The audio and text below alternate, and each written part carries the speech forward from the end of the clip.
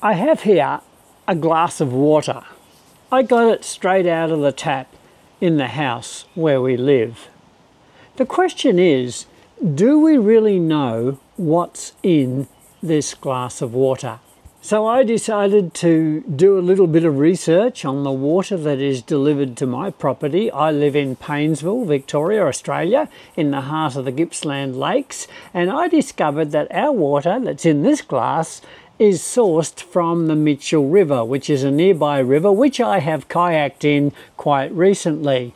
The water from the Mitchell River is then uh, taken to a treatment plant where it undergoes a number of treatments.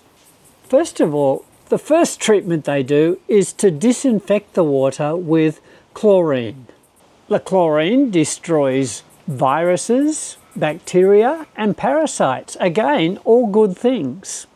The second thing they do at the treatment plant is that they add fluoride to the water.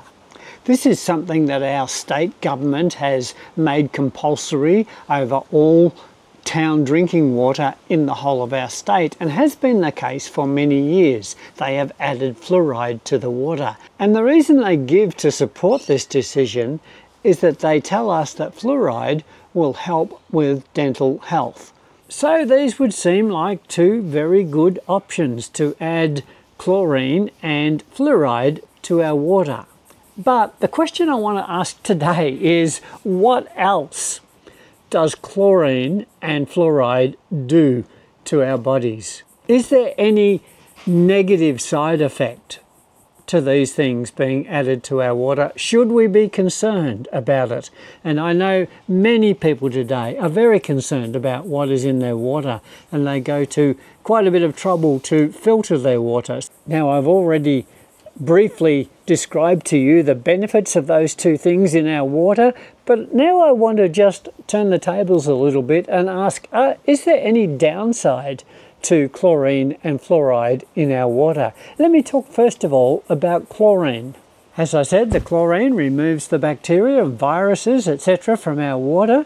But what else does it do? Well, there is some studies that have been done that seem to suggest that there is an association between excessive chlorine and cancer. The second concern that some people have, and this you'll be familiar with if you've ever swum in a public swimming pool, that chlorine does have a very unique smell and sometimes quite unpleasant smell. And then, of course, if you've swallowed a mouthful of water at the swimming pool, you'll know that it doesn't taste particularly nice either. Now, in our drinking water, it would be in much lower levels than a swimming pool, but the principles are the same. Some of the dangers with overexposure to chlorine can be breathing problems that uh, might be reflected by asthma and also skin problems like dry skin or eczema on your skin. Excessive chlorine exposure can aggravate skin conditions, particularly I'm thinking of dry skin or eczema. The other issue with chlorine in excess, it can cause breathing difficulties, and this is particularly uh, relevant to people who suffer from things like asthma. So that's chlorine. Now I want to discuss fluoride for a moment and particularly talk about some of the pros and cons with fluoride. Fluoride is good for mental health. This is pretty much scientifically proven and it is the reason why some governments like our state government here in Australia uh, make it mandatory to add fluoride to water. It does strengthen the enamel around teeth. It also makes teeth more resistant to acid that is in some forms of food and drink. The main problem here is that when you have fluoride, maybe in your toothpaste, this is applied directly to your teeth. But when it's put in your water, you're drinking it. So it's not only being applied to your teeth, you are ingesting it into your whole body. And therefore, you really need to know what the pros and cons of drinking this stuff is. I mean, you wouldn't go to your local pool and drink the water out of the pool, certainly not voluntarily. Now, there's some ongoing scientific studies about the detriment of fluoride in our water and uh, No doubt more study has to be done, but some of these studies are suggesting that excessive exposure to fluoride can be associated with thyroid disruption and even reduced IQ in children. Now, if that's proven true, then that's quite a serious statement. I'm not saying those things are decisively proven, but some of the early studies they have done are suggesting those connections. Especially if you have long-term exposure. You see, when it's in your water, you have no choice, and it is long-term exposure because for all of my 70 years, I think the government has been putting fluoride in our drinking water. In any case, I am told that this drinking water straight out of our tap here in Paynesville is well within the Australian standards of safe levels of both chlorine and fluoride.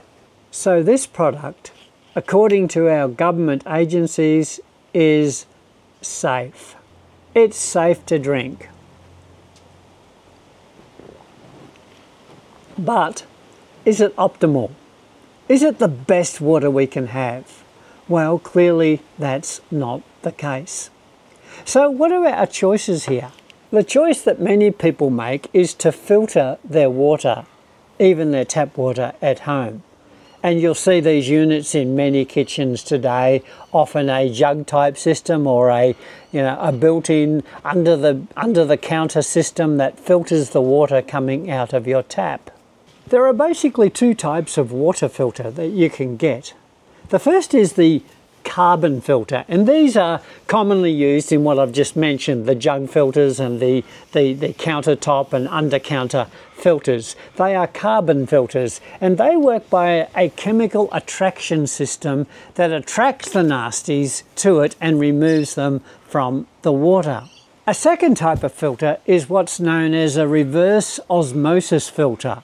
Now this is a much more thorough filter than the carbon filter the reverse osmosis filter forces the water under pressure through a membrane. A carbon filter will remove chlorine, that disinfectant that we talked about at the beginning of this video.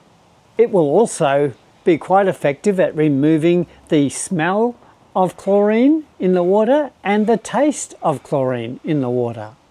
However, this is where the similarity ends because a carbon filter will not remove fluoride from the water, no matter what the manufacturers try to tell you. It will not, it cannot remove all fluoride from the water. For that, you, you must have a, a reverse osmosis filter. The reverse osmosis filter is the only filter that will remove chloride, it will remove heavy metals, and it will remove nitrates from the water. So I have here in front of me a reverse osmosis filter. This filter was sent to me free of charge by the company that makes it, Itehil.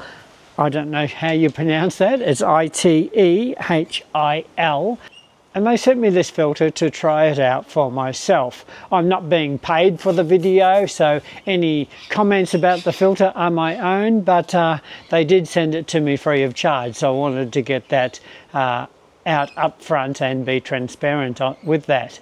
Now this filter is really designed for a camping situation where you might come across some really dirty creek water and you need drinking water and it will filter any dirty water. In fact, I made a video on this on my camping channel where I had some really putrid water taken from a dam and it had bird poo and moss and all sorts of stuff in it. And I filtered the water through this filter and I drank it. I will leave a link to that at the end of the video if you want to see that. But for this video today, I'm only talking about home use and filtering our tap water that has been our subject today. So inside this filter, there are actually two filters built in. There is a carbon filter and there is also a reverse osmosis filter. So we're covered on both counts. The unit itself is operated by a rechargeable battery, so you do not need mains power to operate the system. That is to support the uh, camping scenario where you might be out in the bush and you don't have access to power. You can charge it up on a power point at home and then take it out. How long does it last? Well, a full charge filters about 32 litres of water. you can convert that to gallons if uh, you use gallons, but about 32 litres. So the unit here looks a little bit like a toaster. It's got that double slice thing that looks like a toaster, but it's actually a handle that you can carry. The water filters themselves are inside under this cover, and then there are three hoses that come out. This first hose is quite a long hose, and this is designed to put in your water supply that of the water that you're wanting to filter. So I've got over here on the ground a very large tub of uh, water out of our drinking tap here in Paynesville, as I said. And then I've got two other hoses. The blue hose coming out this side of the filter is a wastewater hose. So I put that back into the water that I'm filtering. And then the pure water that has been filtered comes out the white hose. And I've got here a stainless steel um, water container that will hold 30 litres of water. And I use this to uh, store our drinking water in. So I put that down on the ground next to the other container there and simply put the hose in there. And then I set this system going at the press of a button and there it's going. It takes a moment or two for the water to start to filter and then the uh, you have the clean filtered water coming out uh, through the through the white hose into the container that you've got for it. So I've got a stainless steel container there. I uh, like the stainless steel. I don't like putting water in plastic as much as I can help it, but that's a subject for another video. So 45 minutes later, the stainless steel container holding 30 litres of Osmo filtered water is now on our kitchen counter ready to drink and to use in our kitchen and all as a result of using the Itehil water filter system. If you're interested in exploring one of these either for camping or for home use or maybe both uh, you can have a look at the uh, link, I'll leave a link down below they are currently on sale with $100 off and then if you use my link you get another 10% off and you can have a look at that and see whether it's a solution for you. I think they're a great product that uh, is is very useful and compared to the price of many other osmosis filters, very, very reasonable cost. It's a good solution if you want to filter your own water before you drink it. So look, I will leave a link up here to the uh, previous video I made on my camping channel when I filtered some really foul and disgusting water and uh, actually drank it on that video. The link is up above. But look, thanks for watching today. Please consider joining and becoming a member of this channel, subscribe, like, all of those things. They do help us immensely. And thank you for watching. I will see you on the next video. But until then, stay happy, stay healthy, and God bless.